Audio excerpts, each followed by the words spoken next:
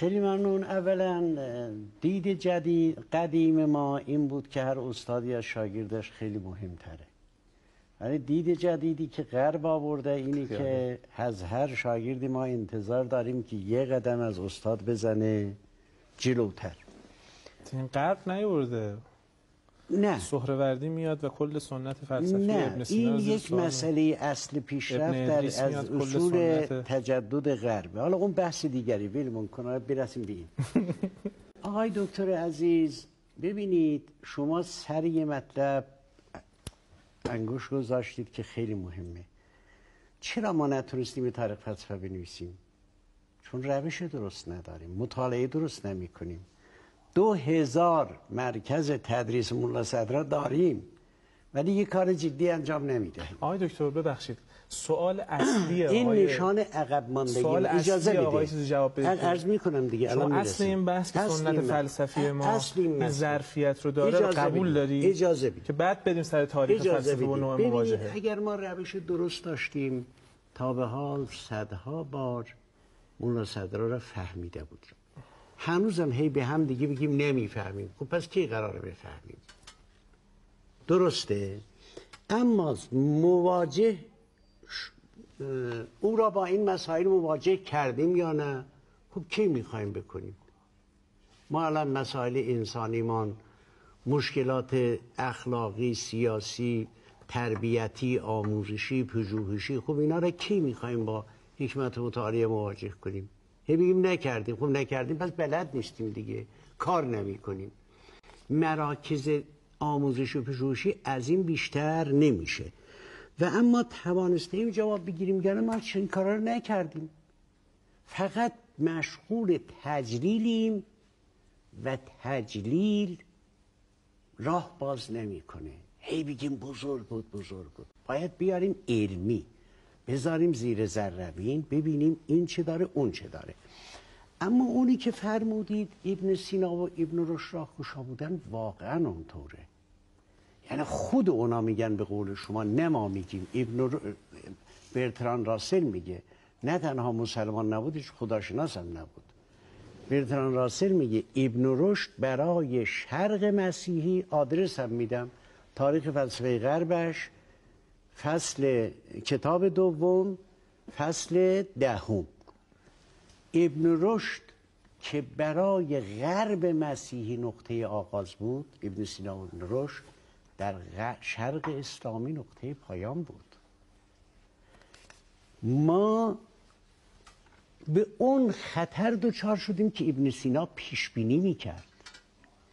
ابن سینا در آخر بحث سفسطه منطقش میگه یه موجی آمده بود با ابو سعید ابوالخیرینا من نمی‌دونم چرا اشراق گرایی افلاتون گرایی اینجور در جامعه رواج پیدا می‌کنه.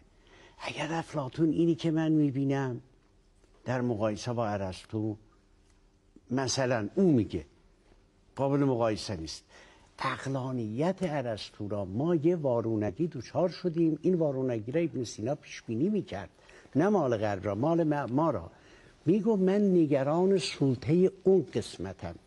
یعنی سلطه مکتبهای عقل ستیزم نباشه عقل گریز مثل عرفان و تصوف و اشعریت و اینا بر اقلانیت که سی ابن سینا از اون دفاع می‌کردن. غرب دوچار همون حالت ما بود. با چراغی که ابن سینا و ابن رشد روشن کردن غرب چراغ روشنایی پیدا کرد. ولی اون چراغ را ما خاموش کردیم. چرا استاد خاموش کردیم؟ خاموش کردیم دیگه. به همین دلیل اون دو گرایشی که آمد جای همه چیز را گرفت. گفت اگر ابن مگه سینا استاد در اگر ابن گرایش- سینا می‌بیند می‌داند من می‌بینم. استاد اگر مراد این- از خاموش شدن غلبه گرایش های اشعری. و همبلی اجازه اینها. باشه در غرب هم اتفاق افتاده البته مذهب فقهی و اونو قاطی نمی حالا ما میگیم گرایش اشعری فرض اما, بفرمایید. اما اجازه بدید ببینید در غرب هم آقای دکتر گرایش های. اشعری ضد با- عقلی کم نبوده. باید با میگم اونا از اون گریختند به وسیله ما ما از اونی که برای اونا چراغ روشن کرده بود از اقلانیت گریختیم. جهان اسلام را میگم. آقای دکتر همین فلسفه ما که ما مدعیم این همه راه گوشاست در کل جهان اسلام اینو به نام فلسفه خودشون نمی‌شناسن. خودت می‌دونی ما در یه محدوده ای در کشور خودمون خودمون میگیم خودمون می‌خوانیم. این فلسفه نیست که الان مثلا در کشورهای اسلامی دیگر هم از دور این بچرخند و مال خودشون ببینید آقای بدانند من اینو اما اما اجازه بدید. من برسم به آخر. اما من نمیگم محیط زیست را یاد بگیریم. من میگم ببین این مشکل معرفت شناختی ماست که یک فیلسوف به من بگه ذهن حکیم برابر میشه با این یک اینو مولا صدرا میگه. بله. ذهن حکیم برابر میشه با جهان خارجی یعنی هر چه در دنیا هست حکیم می‌دونه. از قعر گل سیاه تا اوج زحل کردم همه مشکلات عالم را حل. البته بیت شیخ الرئیس رو فرمودید. نه. می‌دونم. بالاخره این تصور بود. هم درباره شیخ الرئیس هم درباره اینا. مس و حقم داشتن چون اون جهانی که اونا داشتن خیلی کوچکتر از جهان واقعی بود و اون مغز فکری که اونا فکر می‌کردن خیلی تواناتر از فکر توانایی واقعی فکر بود. اما مسئله دوم را وصل کن به این که یقین حکیم ضدش محاله. پس یه حکیم میاد همه چیز را می‌دونه. یقینش هم ضدش محاله این راه را میبنده. چرا میبنده استاد؟ ببین من حکیم. همه چیز را می‌دونم یقین من قابل شکستن نیست تو چی می‌تونی بکنی اولا آقای دکتر ببینید وقتی یه جناب چرا میبندی را منظور نه نه روشن. شد یا نه ببینید برای اینکه مخاطبای ما با بحث بله. همراه بشن بحث آقای دکتر یسوی اجمالا اینه که سنت فلسفی ملا صدرا با قائل شدن به بعضی از مباحث فلسفی باب علم و باب ورود به مسائل اجتماعی رو و باب تطور فلسفی و تحول فلسفی رو می‌تونیم ما باید بسته. بگیم اینا را یه اما آقای باید کلباسی می‌خوان در. این باب توضیح بدم برای بله. اینکه حالا من حاضرم بشنوم من استفاده البته می‌کنم من به این مولا صدرا بیش از هر کس دیگر علاقه مندم همونطور که فرمودید کسی مرا نقد بکنه واقعا دستشو میبوسم اگر اجازه بده پاشم میبوسم نقد آسیب نمی‌زنه راه باز می‌کنه. ما از نقد نه هراسیم من خواهش می‌کنم بکنم که تمام کتابش را. عذر می‌خوام. سالها درس دادم و الانم یک کتاب 500 600 صفحه‌ای درباره حکمت متعالیش دارم و خودتون می‌دونید که اون زمانم با چه ذوقی منظومه را تدریس می‌کردم که اون حکمت متعالی است. ولی خب یه مشکلی احساس می‌کنم که باید بگم. ارز کنم که من اه، اه، یکی دو نکته در واقع ناظر به فرمایشات استاد رو متذکر بشم بعد به این مطلب آخر هم برسیم. ببینید اولا استاد فرمودن که ما اگر این سنت خودمون رو به خوبی نشناختیم یا نشناساندیم این بوده که از روش یا حالا تکنیک های پژوهش در واقع اگر به این لفظ امروزی بگیم یه مقدار غفلت کردیم. این سخن سخن درستیه.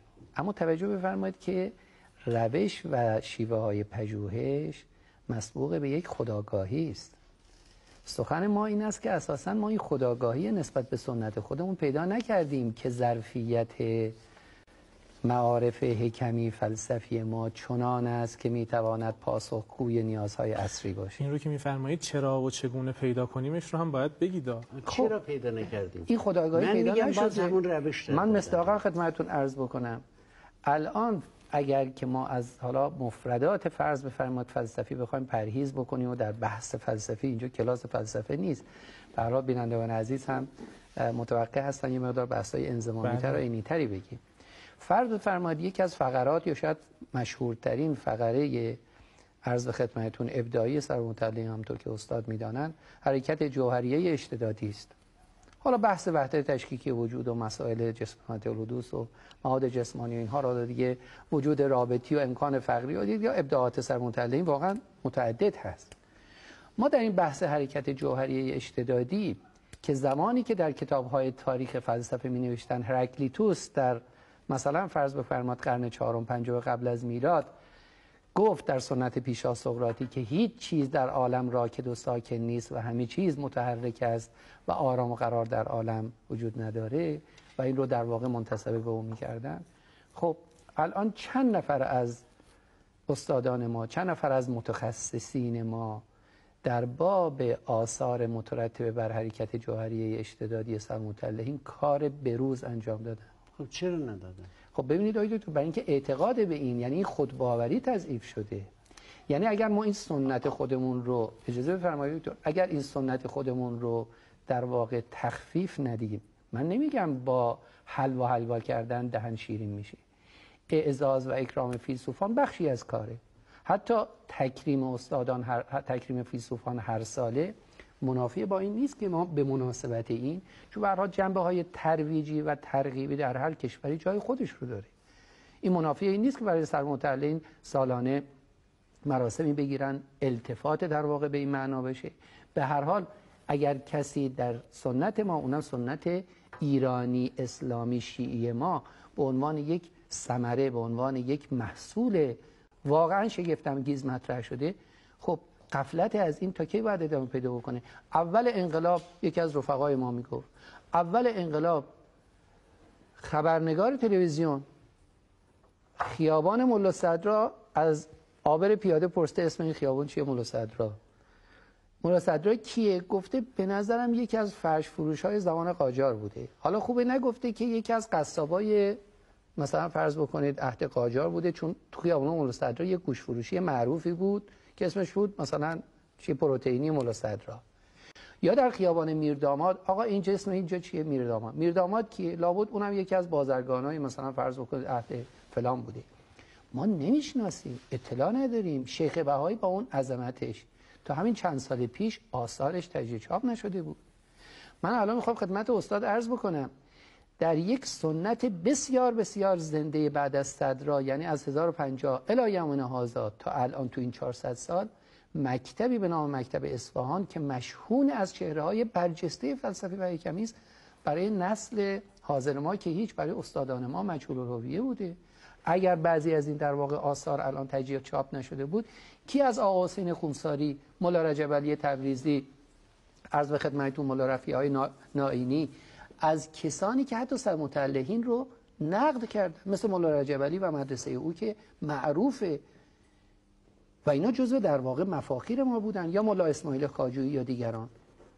اینا در واقع نقد فلسفه سرمتعلهین کردن. نوع نشناختن ما و نوع مواجهه ناآگاهانه ما با فلسفه بله. اصل کلام شما هست در این باب درسته؟ بله یعنی من می‌خوام عرض بکنم که و آقای و آقای یسروی هم قائلن به اینکه اساسا این سنت فلسفی متأخر بله. یعنی سنت فلسفی ملا صدرا ناکارآمد است. نه اینکه ما چون نشناختیم نمی‌توانیم یعنی ازش ظرف بهره بگیریم بلکه ناکارآمد است. یعنی اون سنت فلسفی که ابن سینا و ابن رشد داشتن و کارآمد بود این سنت فلسفی نداره. اگر کسی به ناکارآمدی شما... در واقع این سنت فلسفی تفوه بکنه باید دلایلش رو بگه.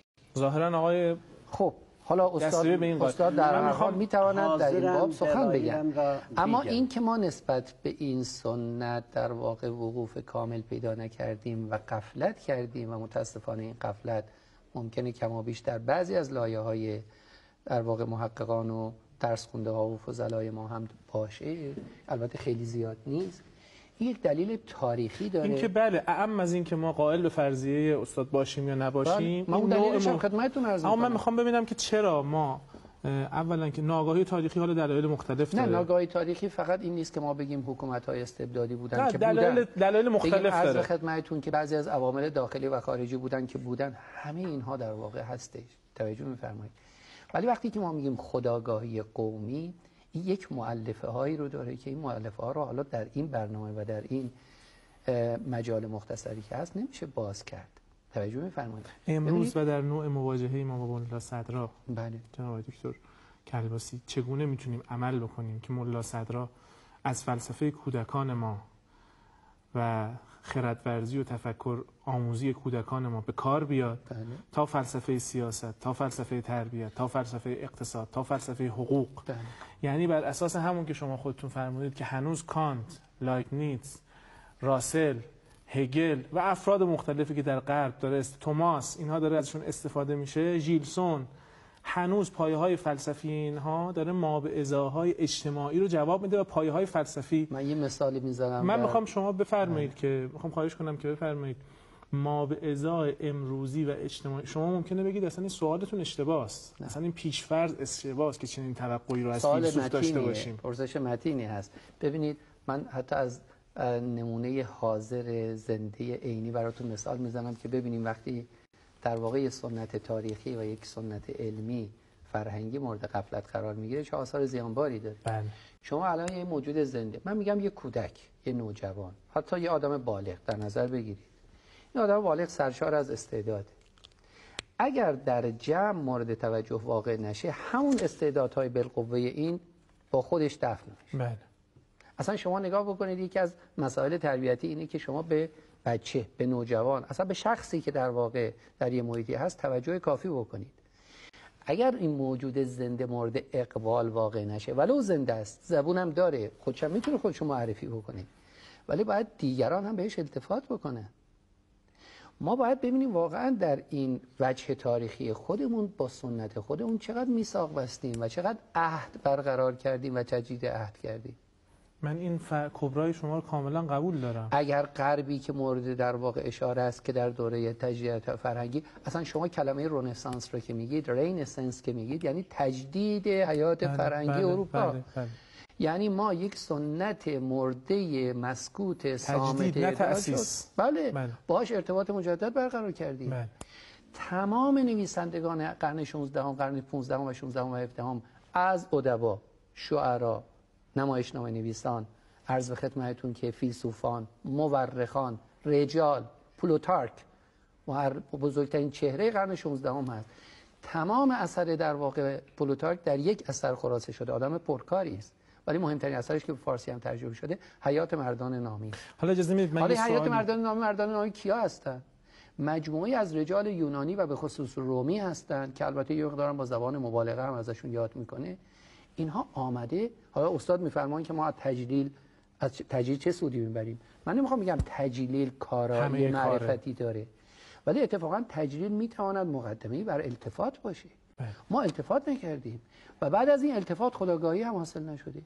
اگر بپرسن که اتفاقی که باید در زمانه ما بیفته چه اتفاقی است اینه که از خودمون بپرسیم. آیا با سنت به کمی علمی معرفتی دینی خودمون توانستیم ارتباط مناسبی برقرار بکنیم چنان که غرب در یک زمانی برقرار کرد. بله. دو توانستیم این رو به روز و به زبان مناسب به نسل حاضر معرفی بکنیم که بعد از این سوال بکنیم که آیا این سنت قدرت جوابگویی دارد یا ندارد. این سوالات سوالات کلیدی است. بله.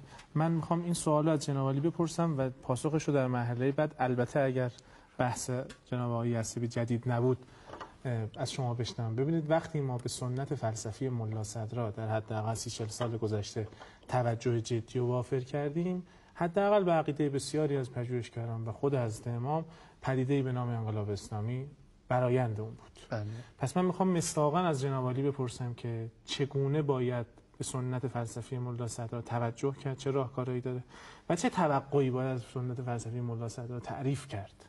اساسا اما قبل از اینکه شما پاسخ بدید می‌خوام از آقای یسری بپرسم که چرا شما میگید سنت فلسفی ملا صدرا ناکارآمده و نتونسته امتداد بده سنت فلسفی من میگم ابن سینا. من با چند دلیل مشخص بله. من ببین من میگم این سنت فلسفی ما نه به چشم بسته بگیم به همه درد ما درمانه نه چشم بسته بگیم به هیچ دردی نمی‌خوره من اینم هیچ کدامشو نمیگم ولی من میگم ما بیاییم با روش درست اینا رو بذاریم زیر ذره مشکلات خودمونم بذاریم زیر ذره مثلا بگیم آیا اثبات نفسش کافیه یا کسی نه؟ که قائل به این نیست که در فلسفه رو ببندیم به ملا صدرا ببین ما اینجور کردیم. ما اینجور کردیم. ببینید الان ما- نوصدرایی ها دارن یه مقداری از ملا آخه صدرا گذر می‌کنن یعنی بعضی از میرزا. زنوزی اولین نفری که انشالله. به قول برخی گذر کرد از مباحث. ملا صدرا ببینید من میگم آقا ما گیر ندیم به جنس و فصل در منطقمان جنس و فصل مال تصور ارسطو از جسمی که یه ماده دارد هیولای صورت فصل نماینده اونه ما بیایم اینو ببینیم الان دیگه داریم یه جایش به جای تعریف اون قدیمی یه تعریف جدیدی بذاریم بله. درسته بله. در معرفت شناسی ما نیاییم بگیم ما همه چیز را می‌دانیم ما بیاییم به قرآن و ما اوتیتون من العلم الا قلیلا فوق کل علم علم علیم ما بیایم بگیم ما اینو داریم ولی از این یه قدم بریم جلوتر بله. الان کسی نمیره دور نیوتون به چرخه بله. دور کانت به چرخه الان در به در به دنبال کسی میگردن که از اینا یه قدم بزنه جلوتر. ما اون حالت رو نداریم. فرمودید محبت تجلیل باعث بررس... باعث نمیشه که بررسی نکنیم. چرا میشه؟ حب و شی یعمی و یوسم. وقتی با هزار القاب و عناوین یه چیزی مطرح میشه با یه عظمتی که هر کس خلافش را بگه به قول بعضی از دوستان مثل که از اصول دین را منکره خب این دیگه راه را میبنده. باید همه اینا را انسان فرض کنیم. همونطور که شما و بنده ممکنه اشتباه کنیم به همین راحت ابن سینا می‌تونه اشتباه کنه که کرده الان صدها اشتباهش معلومه. ارسطو هم می‌تونه اشتباه کنه که کرده که حتی برای غرب یه زمان در حد تفریح هم اشتباهاتش مطرح می‌کردن. ملا صدرا هم همینطور. ما اینا رو بشر فرض کنیم اینا معصوم نیستن. بیایم بررسی کنیم. رو معرفت شناسیمان ببینیم کجا به درد می‌خوره کجا بازدارنده است. رو منطقمان. همین انتظاعی بودن اون از خودمون بگیریم راه را باز می‌کنیم. این ما با لفظ بازی می‌کنیم. آقا تشکیک در وجود. این چه معرفتی به ما میده؟ میده روشن کنیم چی به ما معرفت میده استاد؟ نه اجازه بده. اون چیزی معرفت میدی که معرفت داده و ما پیرامون خودمون شناختیم. عقل ما معرفت ما ولی تشکیک و مسائل وجود اصلا مسائل عقلی نیستن. احتیاج به ریاضت دارن سلوک دارن مسائل عرفانی هن. خود ملا صدرا معتقد وجود هیچ وقت به ذهن نمیاد. ما همیشه مفهوم از وجود داریم. اگر که تشکیک در وجود به ما معرفت نده مثلا ابطال پذیری فلان شخص یا آدم متوسط الحال در غرب به ما معرفت. ببینید من نمیگم ابطال پذیری او بده یا باز من هر حالت قداست و غیر قداست نمیدم بله. من میگم یکی بهت میگه آقا شما اگر با ده تجربه ثابت کردی که نشان داد که این فلان آبه یه تجربه دیگر گفت اون آب نیست اینو جدی بگید. بله. اینم یه روشیه. حالا کجاش کجی؟ ما اونجا رو هم می‌خوایم می‌تونیم اصلاح کنیم. اما کلا رد نکنیم. چیزی بدی نمیگه. این یه روشیه در علوم. و این همون فرانسیس بیکن جناب عالی چیز عذر می‌خوام ارغنون نو مال فرانسیس بیکن. فرانسیس بیکن دیگه. بله. ایشون میگه یه آقای را بردن کلیسا که بهش ثابت کنن اینا حقن. گفت ببین این همه هدایا که می‌بینیم مال نجات یافتگانی که نظر کردن. گفت مال نجات نایافتگان کجاست؟ اون منفی را ببینیم الان میلیون ها حقه و کلک از این راه ناشیه که ما مثبت ها را جدی می‌گیریم منفی ها را جدی نمی‌گیریم. بنابراین به شما یه هشداری میده از فرانسیس بیکن هم شروع یا جلوتر از اونم بوده که آقا منفی را جدی بگیر. اما اونم ممکنه نقد بشه. من خودم شما مدرس استاد کانت هستید. ولی من خودم هیچ وقت اینو قبول نمی کنم که ما به ما بعد طبیعه نمی رسیم و هیچ وقت قبول نمی کنم که ما و طبیعه بر اساس خود ذهن ممکنه خودکامه بشه. چرا؟ چون ما بعد و طبیعه قرون وسطای اونا اینجور بود. ما بعد و طبیعه ابن سینا پا در حقایق عینی دارد. پس ما کانت را مطلق نمی‌گیریم. ما یه انسانی مثل انسان غربی. از اون بهتر نباشیم بدتر نیستیم. به خودمان دل و جرأت بدیم. یه مجموعه آثاری از ابن سینا بتونیم. شما هم تدریس کردید. منم یه نسل قبل شما تدریس کردم.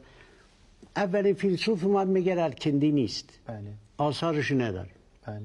درسته؟ هنوز نتونستیم. یعنی این مدیریت را بین هنوز نتونستیم. مجموعه آثار این فیلسوفون رو بدیم دست دانشجو. ما درباره فارابی هنوز یه ترجمه خوب هر هنوز یه ترجمه خوب نداریم. اون کسی که مثلا به نام فارابی معروف جایزش هم می‌گیره خودش در آثار خودش میره از ترجمه دکتر سجادی نقل می‌کنه.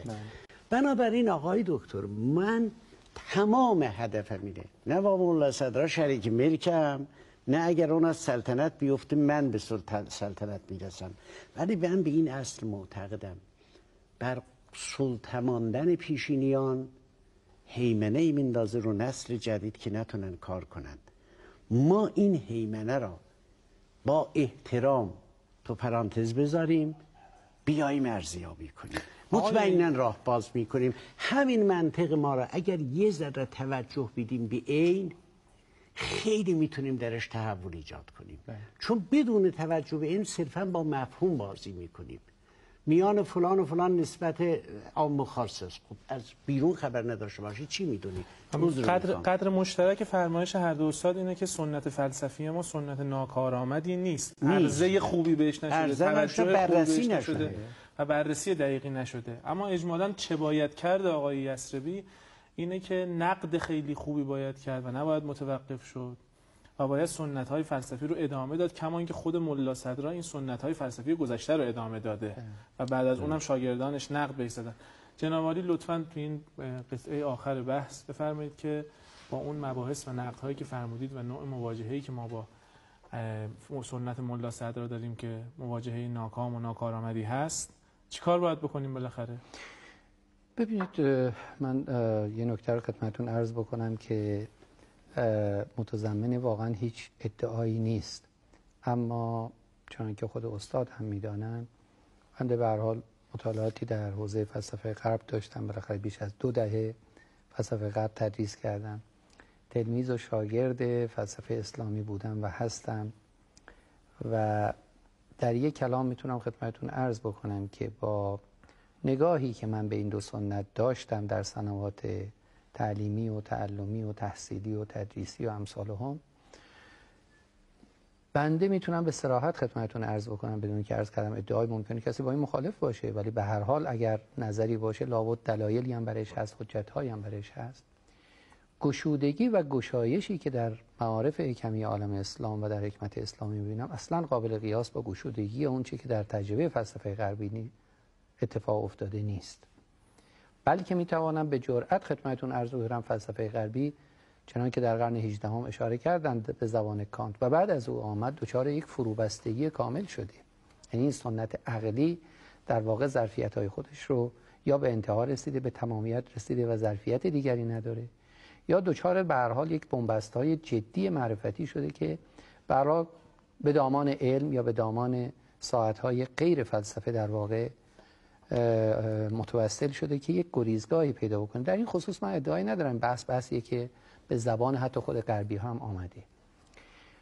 اون چیزی که من عرض کردم تحت عنوان ظرفیت ها و به تعبیر اخیر گشودگی و گشایش هایی که از حکمت اسلامی است یک معناش و یک فقرش که به زبان استاد هم آمد در واقع بحث تشکیکی در وجود مراتب تشکیکی و بحث وحدت تشکیکی وجود برای یک شاگردی مثل بنده که هیچ ادعایی ندارم و به قدر فهم خودم دارم صحبت می‌کنم این است که انسانی که در سلوک نظری و عملی خودش وجود رو به معنای یک امر منبسط گسترش یافته منتشر ببینه و همه چیز رو در آینه وجود ببینه دیدی پیدا می‌کنه. عین خلاقیت عین تحول عین تغییر عین شدن و سیرورت که اتفاقا مغز و جوهره اون چیزی که در فلسفه صدرایی است که من نمیگم استادم تصدیق دارن. هر کسی با فلسفه صدرایی در واقع به اصطلاح آشنایی داره و انسی داشته است. عین شدن و سیرورت مسئله در واقع سر این تسرمه.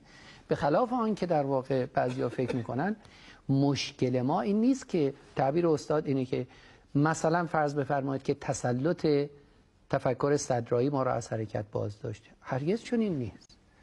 مشکلات دیگری که ما به لحاظ تاریخی و به لحاظ فرهنگی داشتیم در سنوات مختلف در ادوار مختلف این رو منتصب بکنیم. مثلا فرض کنیم به تفکر عقلی. چون این نیست. اتفاقا فلسفه و خود مولا صدرا دچار نوعی کجفهمی و بدفهمی روزگار خودش شد که می‌دونید چه اتهامهایی بهش زدند. در اثار بعدش هم همینطور. این گونه نبود است که ما فکر بکنیم که مثلا از 1050 تا الانی که الان اینجا هستیم یه مثلا فرض بکنید قشر و قشا و یک فضای مسلط تفکر صدرایی بوده. هیچ, هیچ کس هم در عالم اسلام و در همین ایران خود ما غیر صدرایی نیندیشید. نه چون نیست. در زمانه خود مولا صدر که با او مخالفت کردم او رو هم تکفیرم کردم اخلاف و جانشینان او که حالا نمیگیم جانشینان پسینیان او با فلسفه او بسیار مخالفت کردن. همین زمان حاضر خود ما مرحوم علامه بزرگوار علامه طباطبایی. در حواشی و در تعلیقات خودشون و در نوشته های مستقل دیگر فلسفی. چقدر با فلسفه مولانا در واقع درگیر شدن. اینجور نبود است که یک دوره رکود و جمود و بیتحرکی بعد از مولا صدرا حاکم شده باشه. کسی هم نگه. به خصوص بعضی از قضاوت هایی که متاسفانه خیلی خیلی خامه که بگن فلسفه مولا صدرا فلسفه نیست کلامه. اصلا این خلطی که در واقع بعضی ها قائل میشن که به زبان بعضی اهل علم هم میاد واقعا تعجب برانگیزه که چگونه است که فلسفه صدرایی متهم میشه به کلام و تقلیل داده میشه به کلام. ترکیبی از کلام و اشراق و عرفان و فلان دیگه. بعضی ها تقلیل و تحویل می‌کنن به کلام, که میگن. اون که اگر هیئت تعلیفی از کلام و عرفان و قرآن و برهان باشه که مدعای خود از متعلین خود از داری هم مستحضری که در واقع از این میراث تاریخی دینی فرهنگی عرض به خدمتتون علمی عالم اسلام استفاده شده در یک هیئت تعلیفی در واقع پدید آمده است. خیلی ممنونیم. فقط دو کلمه یک کلمه. آقای دکتر ببینید. فقط یه چیزی نباشه که بحث باید ادامه پیدا نه نه نه نه نه. ببینید ما بیاییم این از این حالت در بیاریم که کسی نمی‌شناسد. واقعا اگر عقیده داریم نه اگر عقیده داریم متمرکز بشیم روی اینا کار کنیم. اما همینجوری اگر بگیم تشکیک وجود ما را به خیلی چیزها میرساند و شدن است و فلان است و این ببین دردی را دوا نمی‌کنه. دنیا خیلی وقت فهمیده که هرچه الفاظ پرتم تراغ باشن ممکنه معنا به همون نسبت ضعیفتر باشن. ببینید به چی میرساند ما را؟ شما لطف کنید دوستانتون الان مسئولان فرهنگی کشور مدیران مراکز فلسفی جدی بگیرن این بحث را. واقعا دستور بدهن در این گونه مسائل. کار بشه خیلی وقت ما تموم شد. قدر جامع این بحث شد که سنت فلسفی اسلامی ما به طور عام و سنت فلسفی ملا صدرا این نیست که ناکارآمد باشد. مواجهه درستی با اون نمی‌کنیم. مسائل زمانه خودمون رو بهش ارجاع نمیدیم و روش برخورد درستی با اون نداریم. حتی آقای یسروی هم قائل به این نیستن که مطلقا سنت فلسفی ملا صدرا ناکارآمد است درست استاد. قائلا به این که ما مواجهه سعی نداریم توقف در اون نباید داشته باشیم و مسائل زمانه خودمون رو باید به اون ارجاع بدیم و زیل مبانی اون مسائل رو حل بکنیم. از هر دو استاد بزرگوار تشکر می‌کنم. جناب آقای یسروی و جناب آقای دکتر کرباسی استاد خیلی متشکر شما رو به خدا میسپارم. خدا حافظ